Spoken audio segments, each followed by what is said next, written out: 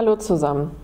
Wie ihr wisst, ist es leider aktuell für uns nicht möglich, in den Nachbarschaften unterwegs zu sein.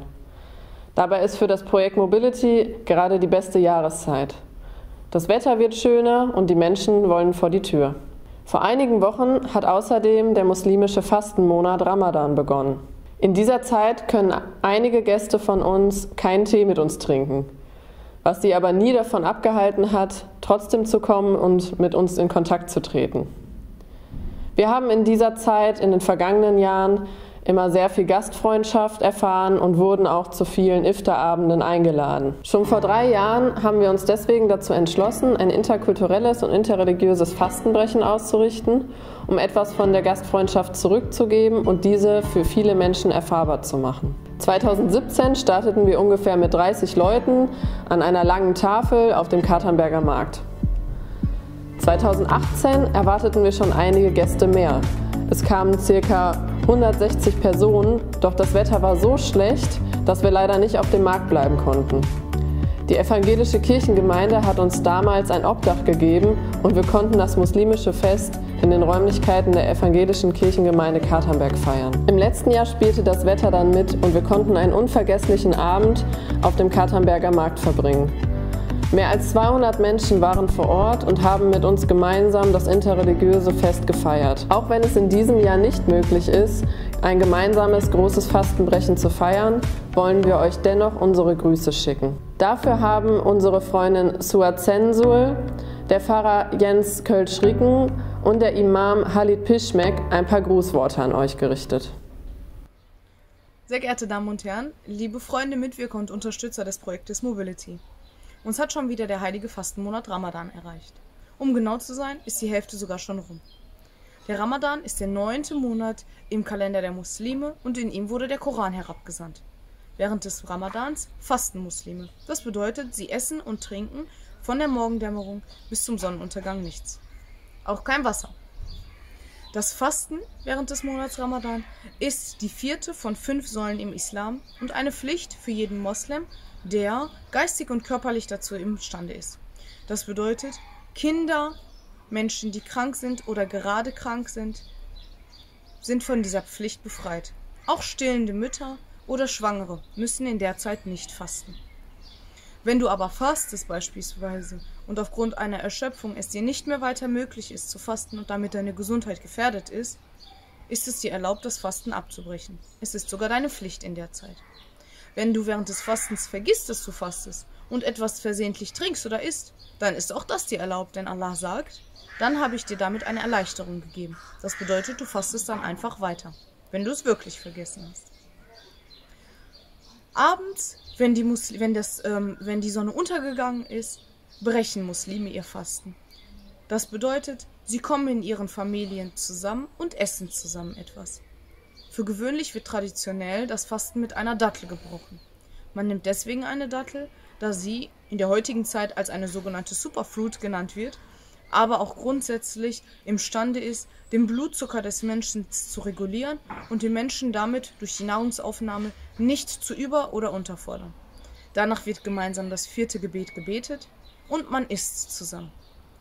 Für gewöhnlich geht man danach in die Moschee, betet zusammen oder sitzt nochmal zusammen, unterhält sich und verrichtet seinen Gottesdienst. Ich sage für gewöhnlich, da es dieses Jahr nicht so ist. Aber auch das wird uns nicht unterkriegen. Auch das gibt uns die Möglichkeit, trotzdem zu Hause für uns unseren Gottesdienst zu verrichten. Während des Monats Ramadan versuchen die Muslime ihren Glauben nochmal mehr zu stärken. Sie versuchen auf Fernsehen gucken zu verzichten und lesen stattdessen den Koran. Sie versuchen, ihrem Schöpfer nochmal viel näher zu kommen und die Zeit für sich zu nutzen. Um zu sagen, sie versuchen, sich spirituell nochmal anders zu erziehen selber. In den vergangenen Jahren konnten wir schöne Fastenbrechen gemeinsam auf dem Katernberger Markt beispielsweise ähm, verrichten. Dies ist dieses Jahr leider nicht der Fall. Das können wir dieses Jahr aufgrund der Corona-Krise nicht tun. Dies ist aber nicht weiter schlimm. Man kann eine gute Tat trotzdem verrichten. Schreib deinem Nachbarn einen netten Brief. Koch etwas Leckeres, setz es ihm vor die Haustür und sag ihm, dass du ihm was gegeben hast. Spende etwas in der Zeit, denn auch das ist eine Pflicht im Ramadan. Man muss die sogenannte Zakatul Fitr verrichten. Das bedeutet, man speist einen Armen für einen Tag in der Zeit. Überleg dir also eine gute Tat und verrichte sie im Ramadan, denn dann zählt alles doppelt. Ich wünsche allen Muslimen und ähm, Musliminnen und Muslimen, aber auch Nicht-Musliminnen und Nicht-Muslimen einen gesegneten Ramadan-Monat. Versucht die Zeit für euch zu nutzen, findet nochmal zueinander, findet noch einmal zu euch und genießt es einfach ein wenig. Haltet euch nicht mit Dingen ab, die euch traurig machen, denn auch diese werden vorbeigehen. In diesem Sinne wünsche ich euch einen wunderbaren Ramadan-Monat, eine schöne Zeit und dass ihr alle gesund bleibt. Ihr und eure Familien natürlich. Alles Gute von mir, jetzt aus Mörs. Tschüss.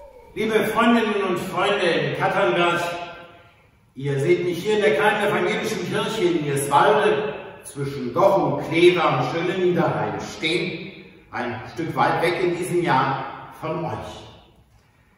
Ein ganz lieber Gruß an alle muslimischen Freunde, an alle Mitglieder der Moscheegemeinde an der Schalker Straße und im Maibuschhof. Verbunden mit einem herzlichen Gruß für euren Ramadan. In diesem Jahr sind das christliche Osterfest und der Monat Ramadan ganz nah zusammengerückt. Das hängt nicht nur mit dem christlichen und mit dem islamischen Kalender zusammen, die sich im Moment aufeinander zubewegen, sondern auch damit, dass wir in anderen Umständen Passionszeit, Ostern und Ramadan begehen müssen. Bei all den bestehenden Unterschieden zwischen unseren Gemeinden zeigt sich doch eine elementare Gemeinsamkeit. Die Zusammenkunft mit anderen Menschen gleichen Glaubens im Gebet, das sind Grundbedürfnisse, die wir in den Kirchen und den Moscheegemeinden gemeinsam haben. Ich kann im Moment nur erahnen, was es für euch bedeutet, nicht miteinander am Tage beten und am Abend das Fastenbrechen feiern zu können. Ich erinnere mich an die schönen Zeiten, die wir miteinander hatten, das Fastenbrechen in der Moschee an der Schalker Straße oder das große Fastenbrechen am Katternberger Markt, davor im Jahr in unserem Gemeindezentrum. Die Gemeinschaft, die fehlt uns. Und ich möchte trotzdem gerade in dieser besonderen Zeit herzliche Grüße und einen gesegneten Ramadan euch allen wünschen. Dass wir vielleicht in der Ruhe, die uns jetzt zusteht, zusammenkommen und über das viele Gemeinsame nachdenken können, das mehr ist als das, was uns trennt. Dass wir im Namen des Gottes, den wir zwar verschieden benennen, aber dennoch gute Frucht bringen wollen für uns und andere Menschen. Im christlichen Monatsspruch aus dem ersten Petrusbrief, da heißt es, dient einander als gute Verwalter der vielfältigen Gnade Gottes, jeder mit der Gabe, die er empfangen hat. So wünsche ich euch, meine lieben Freunde, eine gute Zeit in schwierigen Zeiten. Ich wünsche euch einen Ramadan, an dessen Ende mit dem Fest des Fastenbrechens die Gewissheit wächst, dass Geduld und Gottesvertrauen letztendlich zum Ziele führen und wir eine gute Gemeinschaft alle miteinander sind. Herzliche Grüße nach Katernberg. Tschüss und macht es gut. Assalamu alaikum, meine lieben Geschwister. Zuallererst möchte ich euch allen einen gesegneten Ramadan-Monat wünschen. Wie ihr alle wisst, der Ramadan dieses Jahr aufgrund des Coronavirus ganz anders als gewohnt. Unsere Moscheen sind geschlossen. Wir können weder das Freitagsgebet noch das Terawih-Gebets beten. Wir können Bekannte und Geliebte nicht zum Iftaressen einladen oder sie besuchen. Dennoch sollten wir nicht vergessen, dass diese schlechte Zeit vergehen wird und wir wieder die schönen Zeiten und die schönen Ramadane erleben werden.